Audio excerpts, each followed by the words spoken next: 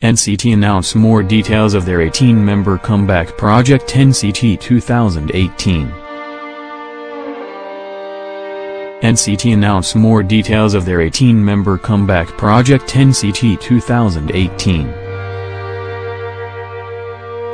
NCT will be launching their biggest project yet through NCT 2018, a grand-scale comeback project featuring an 18-member lineup.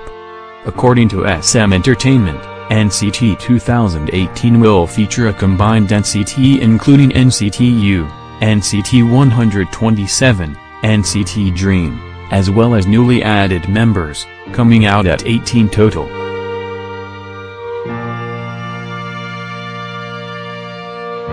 The label has currently prepared six MVs to showcase the various team combinations that NCT 2018 is capable of. NCT will begin their NCT 2018 promotions through NCT 2018 Yearbook, then follow up with a video series about NCT's philosophy.